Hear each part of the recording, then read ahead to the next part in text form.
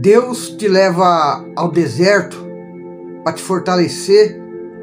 Deus te leva ao deserto para que você possa beber da água espiritual ao qual é Cristo Jesus. Ele é a nossa rocha.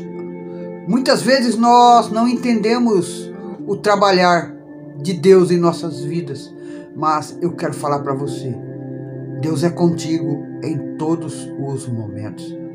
Se você gostar do meu canal, inscreva-se, deixe um like, comente, coloque seu nome para que nós possamos apresentá-lo todas as noites, nas madrugadas, em oração. Hoje estou falando de deserto. Muitas vezes Deus nos leva ao deserto, a maioria das vezes, mas é Ele que nos sustenta nos desertos. Mas é Ele que nos sustenta nos desertos da vida. Lembra de Jacó?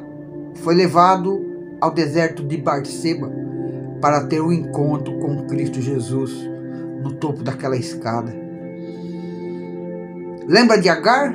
Foi levada ao deserto para que ali ela tivesse um encontro com o anjo do Senhor e ela ouvisse diretrizes para como guiar a vida dela e do seu filho, porque havia já uma promessa sobre Ismael. Assim é com você.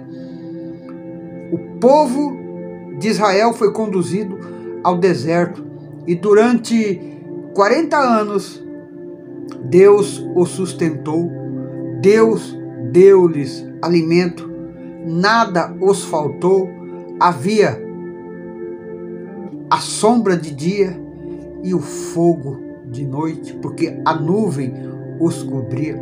E a nuvem é uma simbologia de Cristo Jesus. É Ele que nos guarda, é Ele que nos protege, é Ele que nos transforma no caminhar da nossa vida,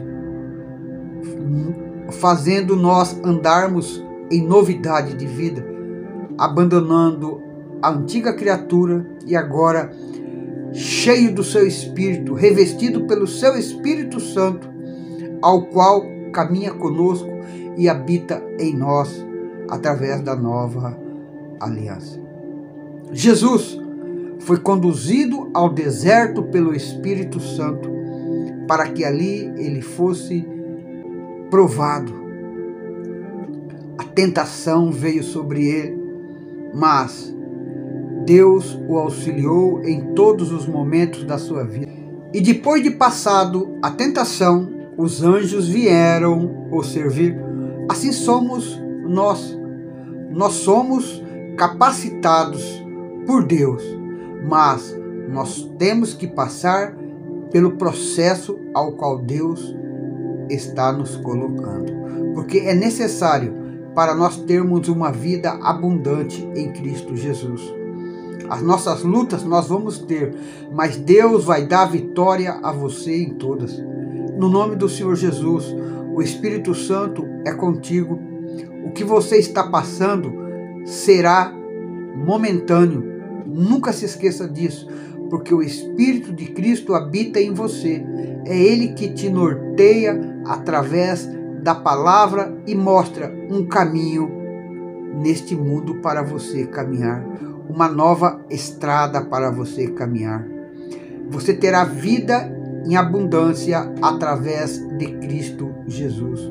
Nós temos duas escolhas: ou caminhar com Cristo com vida em abundância, ou caminhar com o inimigo das nossas almas, com morte e destruição.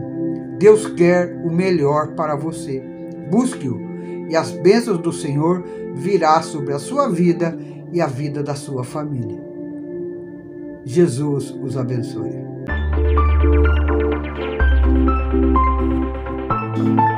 Thank